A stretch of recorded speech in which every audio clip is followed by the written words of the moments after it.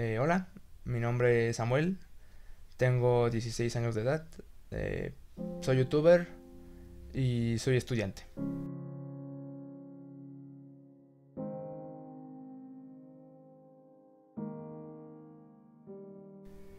Lo que me inspiró a ser youtuber básicamente fue, o sea, yo veía antes juegos, o sea, veía los juegos que tenían en la Play, los juegos cuando tenía, empecé a tener mi Play, eh, en este caso Killzone, eh, FIFA, eh, yo veía el contenido de esos juegos, obviamente.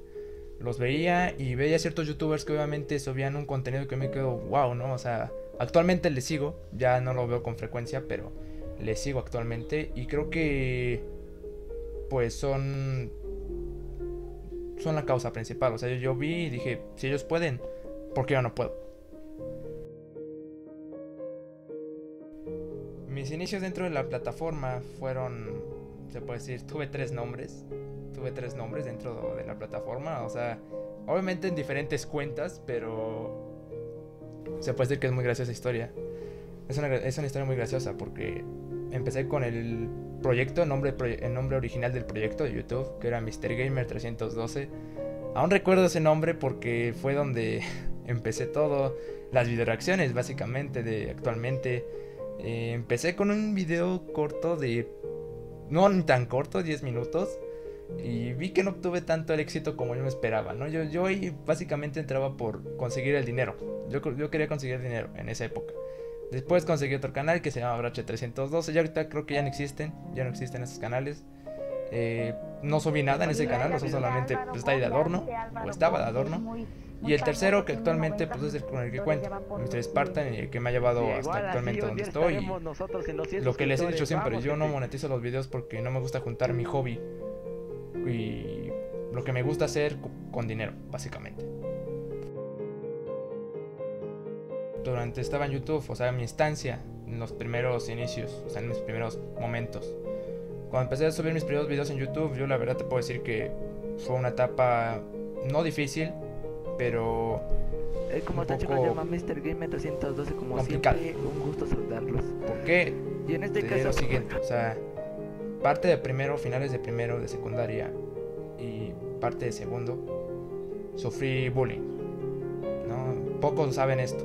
O sea, sufrí bullying, pero no físicamente, no de golpes, sino verbalmente. Eh, bullying verbal. El cual me decían, ah, es que eres un niño rata, es que tal esto, veías esto. Esos comentarios yo no me, yo no me los tomaba tan en serio. O sea, yo decía, ¿sabes qué? Pues, sé que eso saben decir, pues déjalos, ¿no? Pero llegó un grado en el cual un comentario grave comparándome con un personaje, o sea, tanto ofensivo, era un personaje ofensivo un personaje tonto, por así llamarlo, de ese programa, eh, me llegó un grado en el cual, o sea, tal la forma en la que me decían, te puedo decir, porque según mi nariz es grande, eh, me decían, no, es que, ¿sabes qué? Es que te parece tal personaje. Yo ese comentario no lo acepté y te juro que el único amigo que puedo considerar estuvo a mi lado en ese momento. Después un grano en la nariz, clásico, te empiezan a burlar todos desde el inicio del día eh, ah, tienes otra nariz en, te creció otra nariz en tu nariz. Pero un comentario que más me dolió fue de que la chica que me gustaba en ese momento le pregunté si se hubiera burlado de mí, si me hubiera visto, se hubiera burlado de mí. Y me dijo que sí. Yo la verdad sentí feo. Y yo quería regresar a mi casa. O sea, solamente quería regresar a casa y no saber nada más sobre ese tema. Olvidar todo eso. ¿No? Y cambió drásticamente te puedo decir, lo que fue ya a mitad de segundo, cuando ya olvidamos del bullying, olvidamos de todo eso, las, la agresión verbal, eh, te puedo decir eso, o sea, cambió drásticamente hasta que les dije, ¿sabes qué? Sus verdades, algo que nadie aguanta, o en mi caso nadie aguantó, y me dejaron en paz, o sea, me veían como la víctima fácil, la víctima débil, pero se dieron cuenta que no era una víctima débil, se dieron cuenta que tenía la capacidad de hacer daño hasta cualquiera, hablando. Entonces cambió, entonces de tercero he obviamente cambió drásticamente, tanto los suscriptores, las vistas, la forma en que editaba, la forma en la que ya grababa, la forma en la que yo quería hacer el video, la forma en que planeaba los videos, creo que cambió mucho. Y sí, me ha servido hasta el momento. ¿Qué aspectos han cambiado en mi vida? Pues te puedo decir muchos. Antes era muy tímido. te aseguro que era muy tímido. Eh, antes yo hacía streams en una plataforma y hablaba no con la fluidez que actualmente tengo, sino hablaba con otro tipo de, se puede decir, más calmado, como, ¿sabe? Pausaba el comentario, ¿no? Entonces, algo que pues no me gustó tanto que comentar así y decidí abrirme. Y en ese momento me abrí y ¡boom! Solté todo lo que tenía que decir. Y la verdad, pues, creo que para mí fue algo que me ayudó bastante, tanto en mi vida diaria, que fue algo que, sí, dejé de ser tímido, ya me comunicaba más con mis compañeros, daba mis opiniones, mis propias opiniones, tanto videos que hacía sobre opiniones, y tanta la cosa, que pues sí, obviamente yo opinaba por mi cuenta, ya no me enfocaba o tomaba como base estructura un comentario de otro compañero. Eh, YouTube influye en mi vida diaria mm, muy pocas veces. O sea, te puedo decir a momento de que si estoy en casa, quiero grabar, puede influir, porque obviamente mis padres lo saben. Eh, y no sé si para ellos tener un hijo youtuber que graba casi todo, bueno, no todo, graba videos, dice cada tontería, no sé si sea normal o cómo se les haga a ellos, la verdad no sé. Pero creo que, pues, solamente en esos momentos influye YouTube en mi vida. Cuando estoy con amigos, cuando estoy con eso, no influye nada. O sea, actualmente sí no influye, pero cuando estoy en casa quiero grabar, influye bastante en mi vida. O sea, se puede decir que sí, pero no. Algo así. Yo creo que Mr. Spartan y Samuel no tienen ninguna diferencia. Solamente sería el nombre. O sea, yo te lo puedo tomar así. Mr. Spartan y Samuel son dos nombres.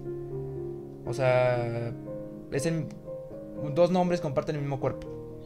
Se puede decir. O sea, yo soy todo el año soy Samuel. Toda la semana soy Samuel. Todo el, los días soy Samuel, las horas, todo eso.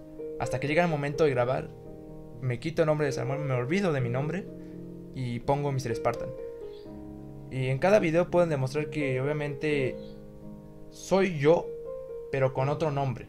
O sea, la forma de carácter, eh, la forma de comentar, la forma de no sé, decir cosas chistosas o como puede ser criticarme en las video reacciones. Eh, soy yo básicamente, solamente que ocupo otro nombre, ¿no? Básicamente es eso. Y los que me conocerán, suscriptores, eh, los que llegaron a conocerme, así, hablar conmigo, soy amable con ellos, o sea, como se merece tratar a una persona nueva, una persona que te sigue, eh, agradeciéndole y tratándola con mucho respeto. Y es lo que yo hago no hay ninguna diferencia. Nunca he pensado en abandonar YouTube. Para mí creo que hasta el momento no he pensado.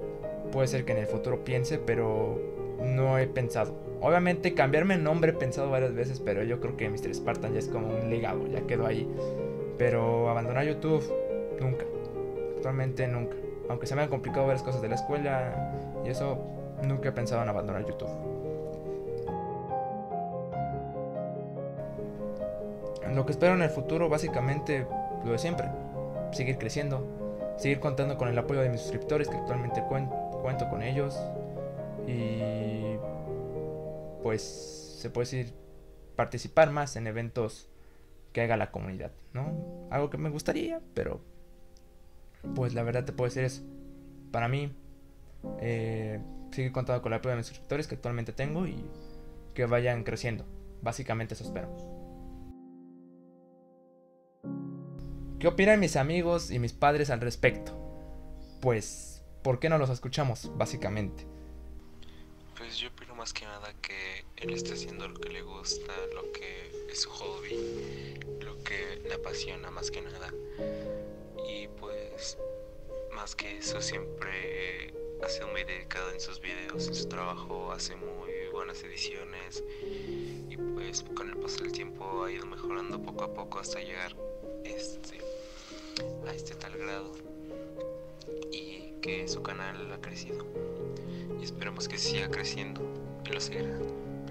Para mí es todo un orgullo el saber que un amigo está logrando lo que quiere y que no se deja llevar por lo que los demás digan o por cómo le irá después, sino el hacer lo que él quiere, lo que él motiva, lo que, no sé, sus sueños, perseguir sus sueños, eso es lo que más importa en esta vida y mi amigo está haciendo el intento y pues lo está logrando y me siento sumamente orgulloso de él, la verdad.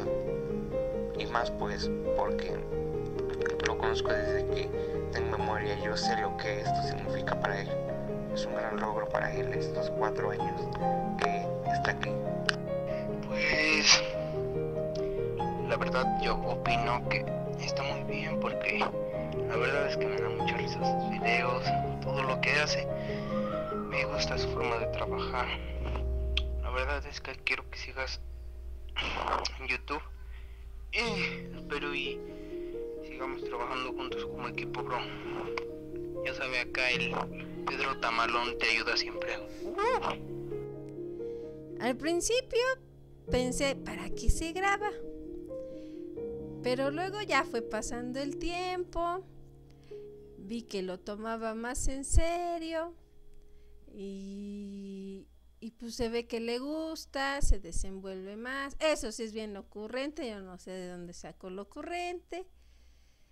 Pero está bien que haga sus pininos en el por este medio del YouTube.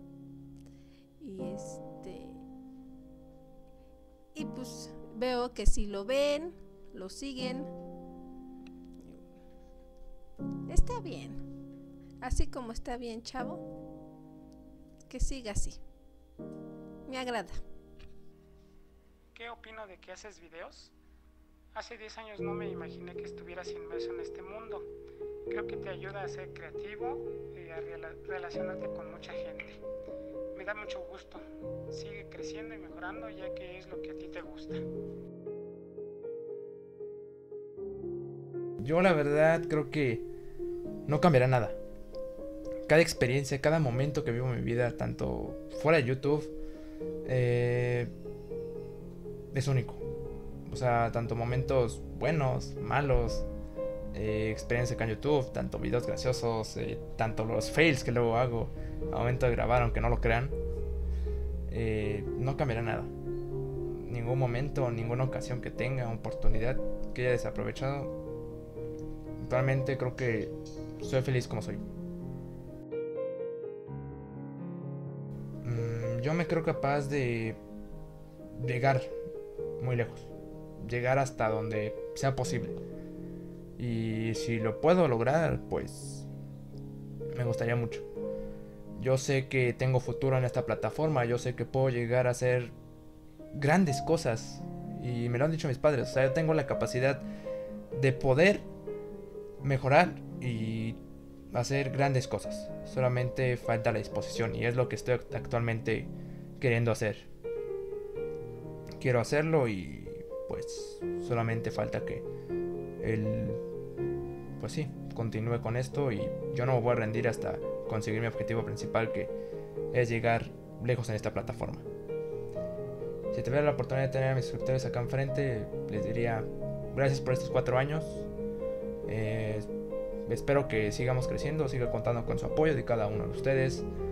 Eh, principalmente quiero, obviamente, agradecer a ciertas personas que son muy importantes para mí, mis amigos, eh, eh, Leonel, Arad, Pedro, eh, mis padres principalmente, que son los principales que me han apoyado en este proyecto.